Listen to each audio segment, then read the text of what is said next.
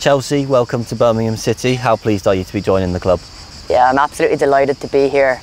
Look, Birmingham City has always been a, a long-standing pioneer in the game of women's football, so it is a real privilege to be able to, to work together in that regard and join such a great football club.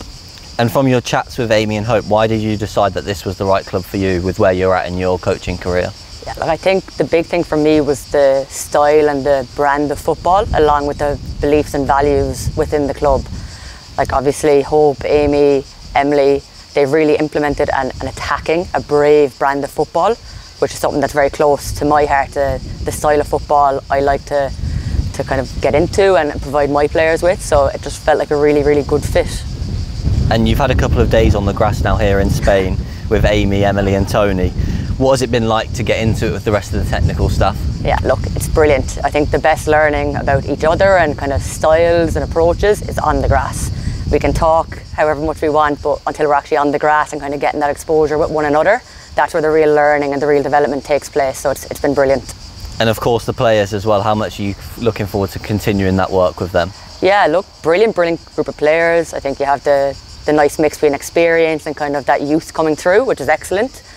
That foundations that have already been built by the, the other coaches, Amy, Emily, Hope as well, have been excellent to this point. So it's really just kind of building on those foundations that are already in place and looking to develop a, as great a team as we can. And just a, a, side note, there's a fair few Irish players in the team. How good is it to have those here as well to like for you to like mix in with us? So. Yeah, it's good. It's, it's a nice little connection from home. A couple of Irish accents floating around. I'm, I'm not the only one. so whenever no one else can understand me, I always have a few of the girls that they'll translate for me and be able to explain it. So it's good. And you spent last season at Western United mm -hmm. in the A League Women in Australia. How good was that experience for you in your development? Yeah, look, it was excellent. Obviously, I'd, I'd moved across from an international setup, so that kind of step into professional football has been absolutely brilliant. I honestly can't thank Western enough for the opportunities, the experience, the guidance that they have provided me with. And I, I truly do believe that there's a great group of people and staff and players within that club that I've no doubt will go on to do great things. And you have a lot of experience in youth development, having worked with Ireland under, under 17s, as you mentioned. Yeah. How are you hoping to use that experience with the younger players that we have here? Big part, big part for me, and kind of a big philosophy as mine is, yes, we want to develop really good players, but we also want to develop really good people.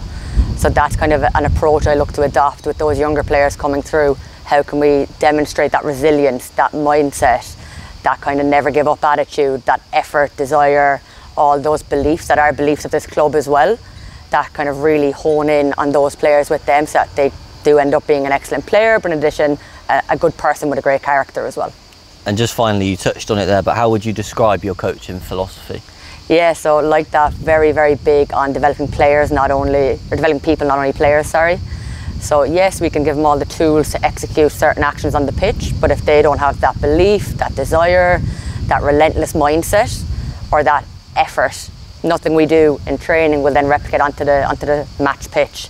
So it's enabling those players with those beliefs and abilities to be able to execute no matter what the given situation is on match day.